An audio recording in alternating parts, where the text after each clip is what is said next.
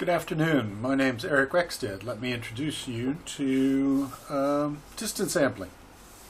I'm going to present to you a set of roughly 15 minute presentations that describe some of the fundamentals of distance sampling to you and you can watch them at your leisure online. So what's distance sampling? In this first in this first episode I'm going to tell you a little bit about distance sampling and its relationship to wildlife population assessment. How does this tool, how can this tool be used for estimating animal populations? And I'll try to differentiate distance sampling from one of its relatives, plot sampling, and give you some basics into the runnings of distance sampling. So, in wildlife population assessment, the objective, of course, is to try to come up with an estimate of the number of animals in a particular area that are, that are of interest to you. Beyond just knowing what the population is up to at any given instant in time, it's common for resource managers to want to know what direction populations are headed. Are they trending upward? Are they trending downward? If indications of trends can be deduced, then as good managers and scientists, the next question on the list is to try to ascertain why those trends exist. Are there patterns in survival rates or fecundities of the animals of interest that might be causing populations to decline or conversely populations to increase. The final component of wildlife population assessment is not just to look at the moment, not just to look in the past, but to try to project into the future. Try to make predictions about what a particular population might do in the face of certain events. It's common to look at impact assessment to try to make predictions about what will be the consequences to a particular animal population if a certain sort of perturbation takes place. And so those are, in one slide, the aspects of wildlife population assessment. And we'll go on to talk about ways in which we might be able to accomplish that. For distance sampling at the moment, we're going to talk fundamentally about the first point. How many animals are there? Now, there are a number of ways to go about estimating the number of animals in the population. The simplest way, if one is interested just in the trends of the population, is to just, rather than counting the animals themselves, ask people, ask experts who know something about those populations to try to speculate about whether there are more animals in the population this year than there were last year or five years ago. So one way of doing that is instead of studying the animals, study, study experts who can complete questionnaires for you. An example of that here in Great Britain is a survey that's been done on adder, which is the only native reptile, the only native snake to the UK. Questions were questionnaires were put out to people like game managers or gamekeepers who spent time in the field and asked, are there more or fewer adders than there were in the past? Another example taken from the UK is a study on otters in which data are actually gathered in the field, but this time, rather than trying to estimate the number of otters that might exist in a particular location, an investigation, investigation is simply conducted to find out whether there are presence, presences or absences. This has become popularized in what's called occupancy modeling that unfortunately we won't have time to talk about. An example now taken from the United States are so-called index methods, where there are counts taken repeatedly on an annual basis, in this case for birds, listening to see how many different species or how many different individual birds are recorded on a on a particular location for a fixed length of time. All of those methods are inexpensive, that's one of their advantages, but they are also they also have some challenges or some deficiencies. And if trend assessment is what these methods are being used for, you have to be careful that detectability is not changing with time. And so all of these all of these methods that are when used for estimating trend have to assume that the proportion of the population resident that is detected isn't changing with time. So now let's move on to methods of actually estimating abundance. Rather than using these index methods, what are alternative ways of trying to estimate the size in a more rigorous fashion, way to estimate the size of a population? Of course, the, the best way, and best also implies most expensive way, is to completely census the population, count everything that exists. Not usually very feasible to perform.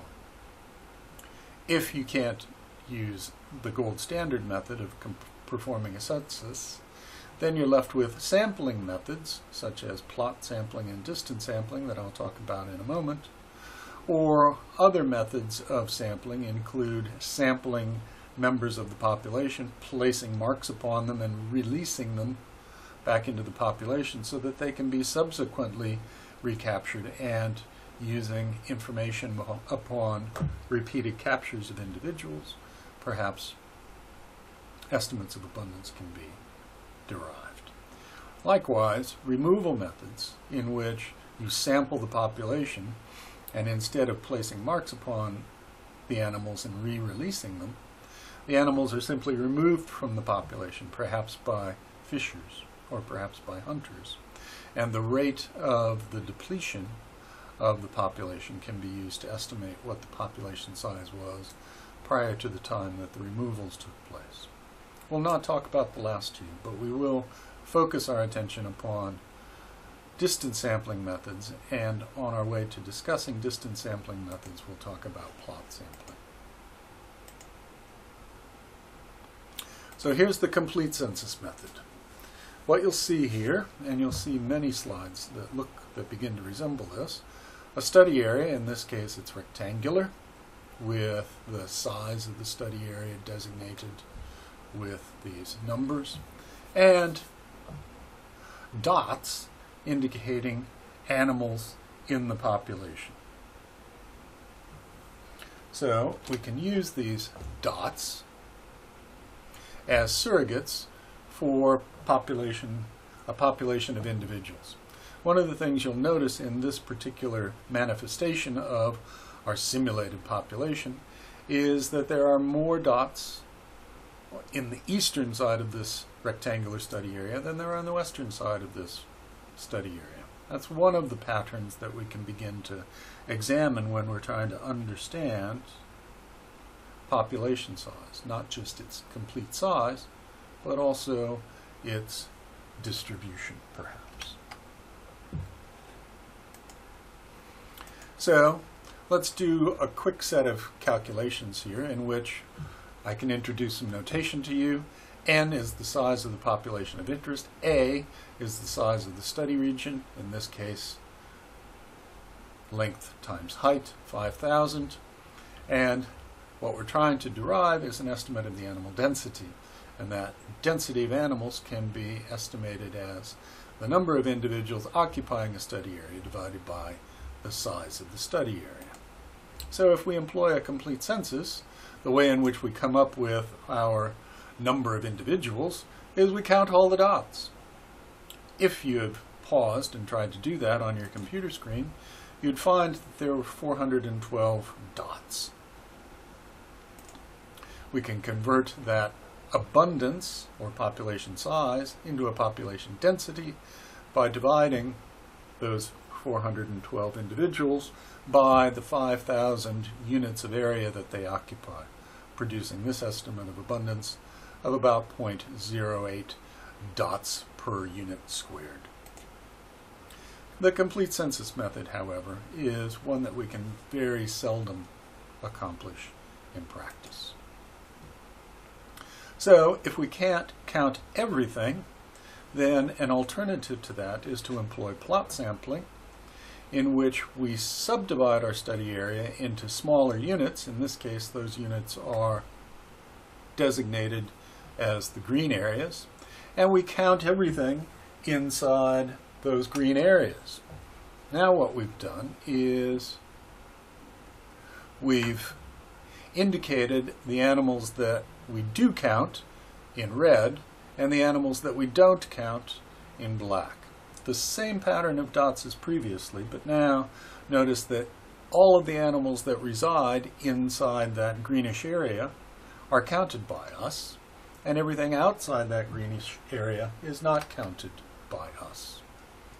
So with that alteration of our sampling method, how can we go about estimating density or population size? Well, first we have to describe the number of plots that we visited, in this case five. We have to figure out what the total length of those plots were. All, each plot is 50 units from north to south. There were five of them, 250 of them. And we also are about to try to calculate the area that we sampled or the area that we covered. To do so, we need to calculate the strip half width. In this case, the distance between the dotted line and the boundary of our study area. In this case, that strip half width was equal to 1. So with all of those pieces of information, we can calculate the area of the covered region.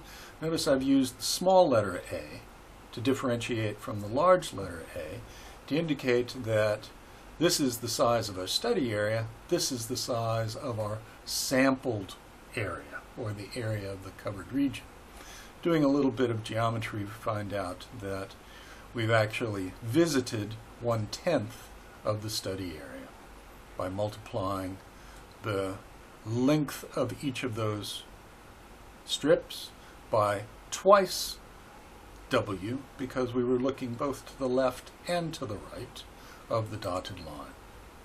In this case, the number of red dots was equal to 36. So with that data, with those data from the field, how would we go about estimating population size? Well, let's work with what I hope is a fairly intuitive estimator of abundance for you. We saw 36 individuals in one-tenth of the study area.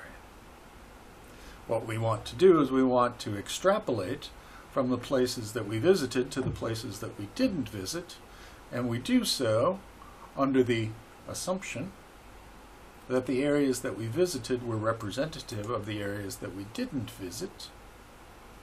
So we have to scale up the 36 individuals that we did see by multiplying them by 10, which is equivalent of dividing 36 by 1 tenth, to make a prediction that the number of animals in the study area is 360. So here's the equation to indicate what we've done. We've taken the number detected, little n, and divided it by the ratio of the covered region to the entire study area.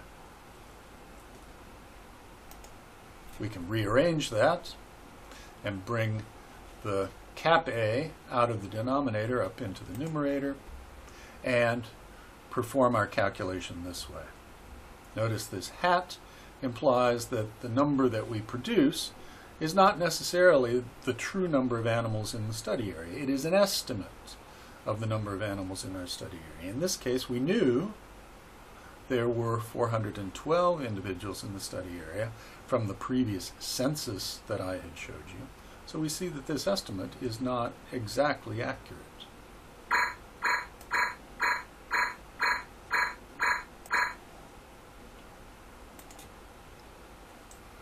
So, to recap, plot sampling works with first estimating the number of animals in the region covered by our survey effort.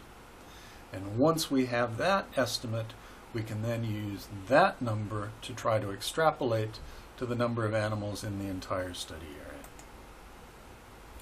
With plot sampling, the number of animals in our covered region is equal to the number of animals that we saw because we assumed that we saw everything inside those green rectangles.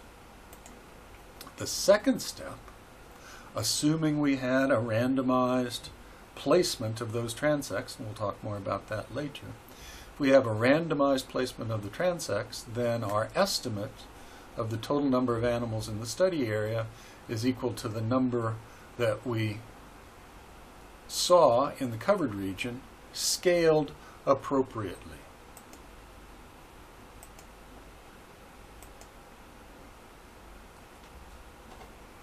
What I've done in this final step is I've converted this little a, the size of the region covered by our survey effort, to take into account the, the geometry of our sampled region.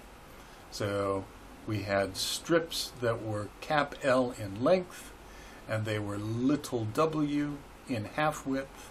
We multiplied little w by 2 because of expending effort both to the left and to the right of the transect. And that provided us with an estimate of the number of animals in our entire study area if we used this form of plot sampling known as strip transects, in which everything within the boundaries of those plots were detected. In a second, I'll, ex I'll extend this into plot sampling.